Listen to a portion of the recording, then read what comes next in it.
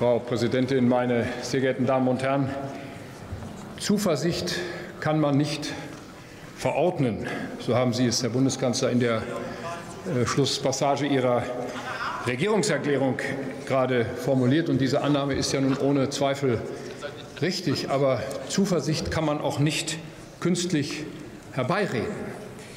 Zuversicht entsteht dann, wenn die Menschen das Gefühl haben, da ist eine Regierung im Amt, die hat einen Kompass, die trifft Entscheidungen und die gibt durch Taten Grund und Anlass zur Zuversicht, nicht durch Worte allein.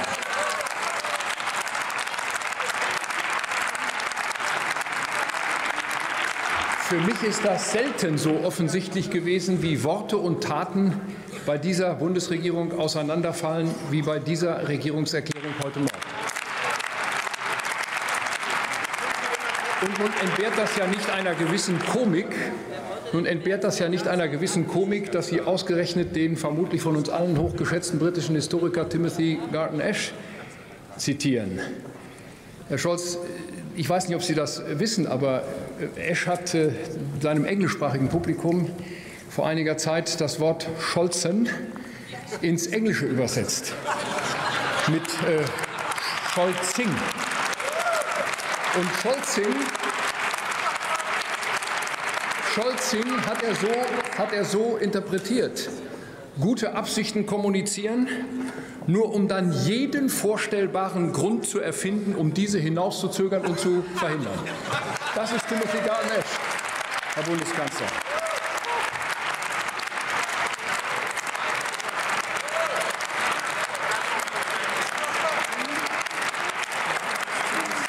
Nun kann, man ja nicht, nun kann man ja nicht ernsthaft bestreiten, dass die Bundesregierung und die Europäische Union in den letzten 13 Monaten in den letzten 13 Monaten auch einiges richtig gemacht haben. Europa und die NATO sind zusammengeblieben, und das war keineswegs selbstverständlich. Das ist das Verdienst aller Mitgliedstaaten der Europäischen Union und der NATO, auch wenn bedauerlicherweise die NATO-Erweiterung um das Land Schweden immer noch am Widerstand der Türkei bisher scheitert.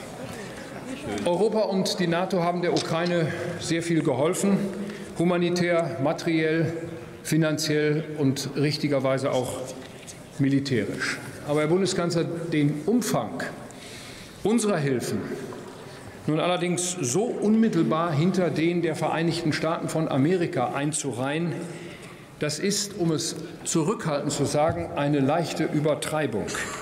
Denn bemessen an der Wirtschaftsleistung haben eine ganze Reihe von Ländern auch und gerade in Europa deutlich mehr geleistet als wir. Und das gilt insbesondere, ja, wenn Sie hier zwischenrufen, wer denn will ich Ihnen das sagen, das gilt insbesondere für einige osteuropäische Länder und hier insbesondere für die baltischen Staaten. Diese Länder die der EU, die ja nun zu Recht die größte Besorgnis um ein weiteres Ausgreifen des Krieges auf ihre Staatsgebiete haben, diese Länder haben Sie mit keinem einzigen Wort heute Morgen hier erwähnt. Sie lassen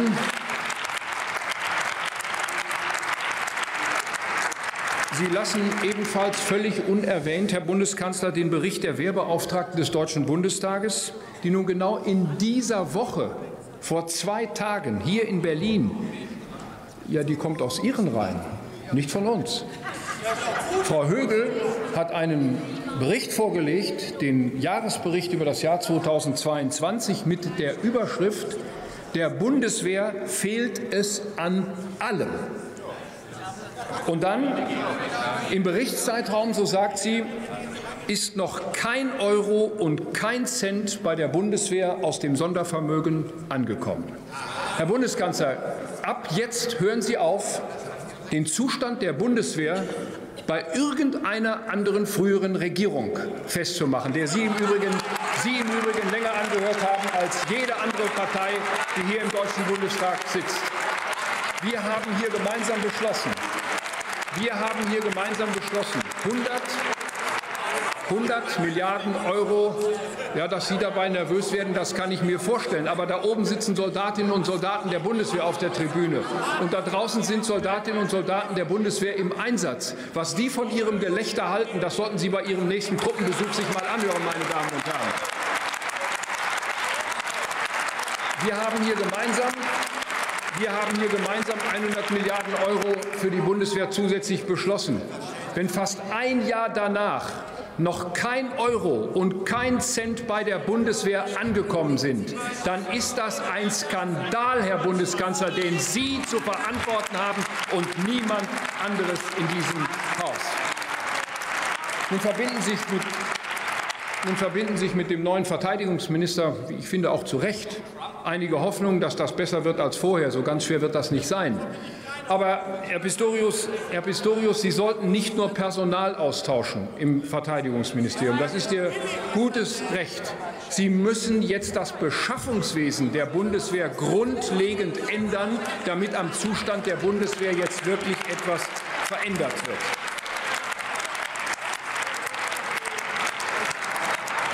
Herr Bundeskanzler, Sie haben im letzten Jahr eine neue nationale Sicherheitsstrategie für Deutschland angekündigt.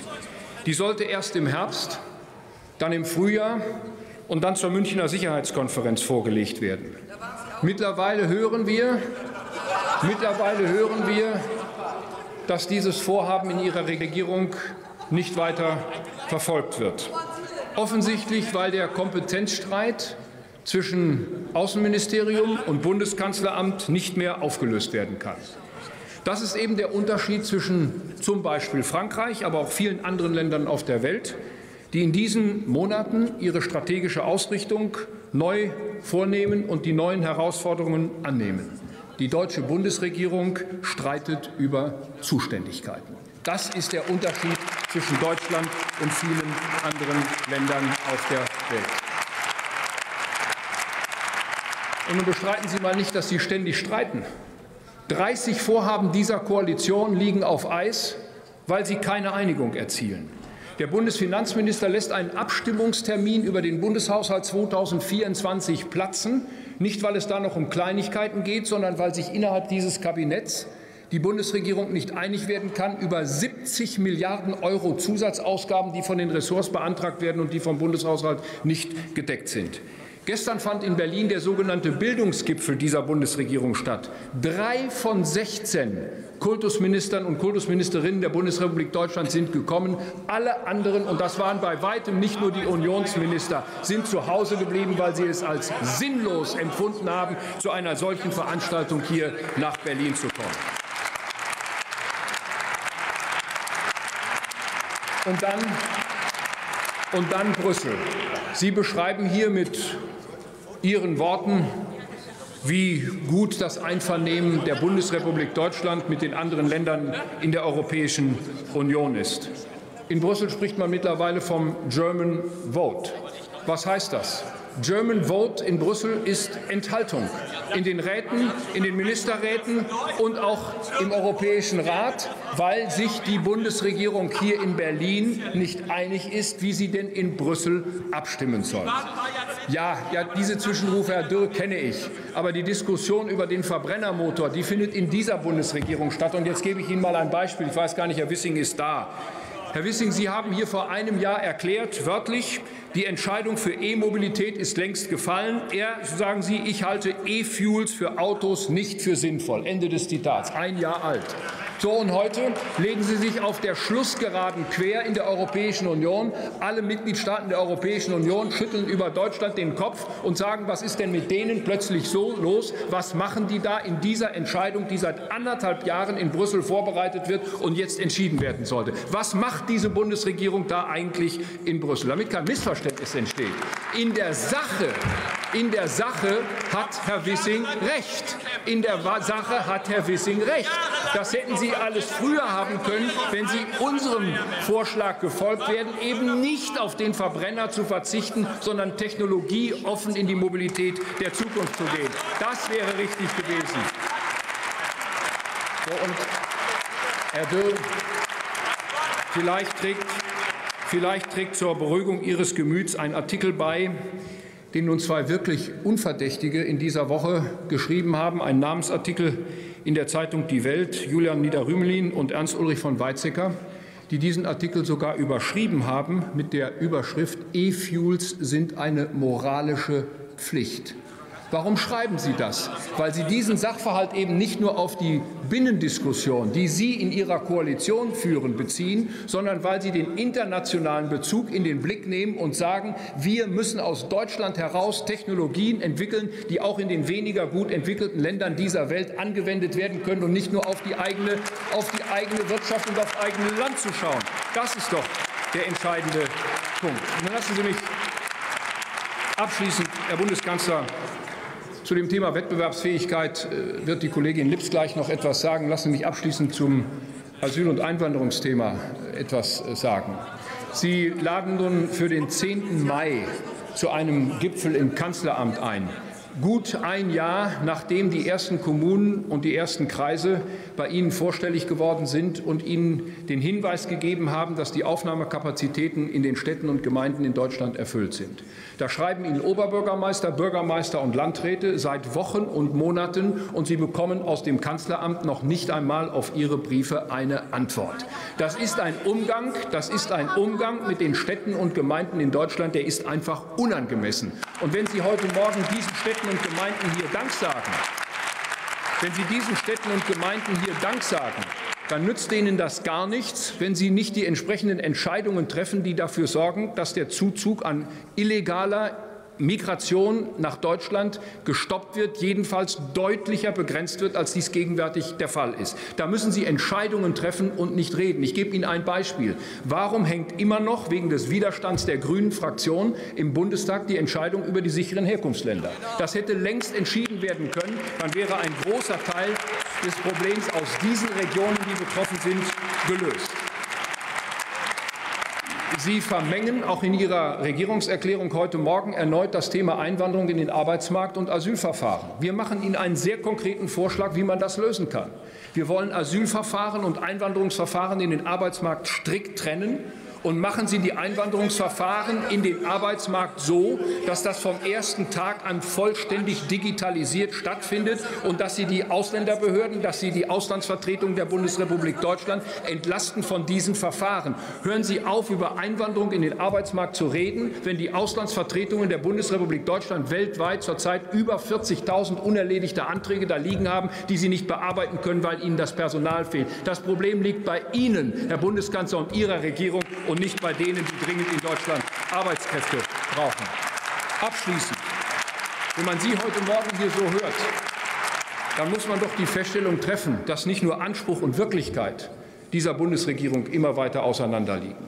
Bei Ihnen fallen mittlerweile Selbstwahrnehmung und die tatsächliche Lage im Land in Deutschland in fast schon besorgniserregender Weise auseinander. Sie verlieren mittlerweile, Herr Bundeskanzler, den Bezug zur Realität in unserem Land. Herzlichen Dank für Ihre Aufmerksamkeit.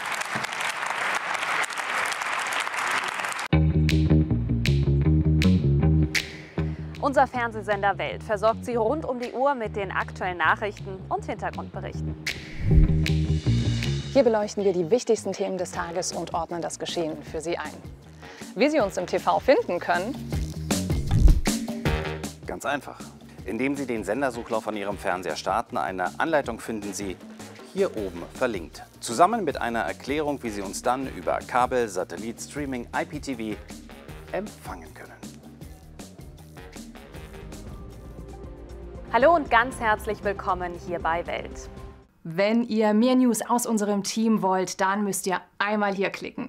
Wenn ihr auf der Suche seid nach spannenden Dokus, starken Reportagen, dann geht's hier entlang. Und wenn ihr Welt abonnieren wollt, neu entdecken wollt, dann einmal hier klicken.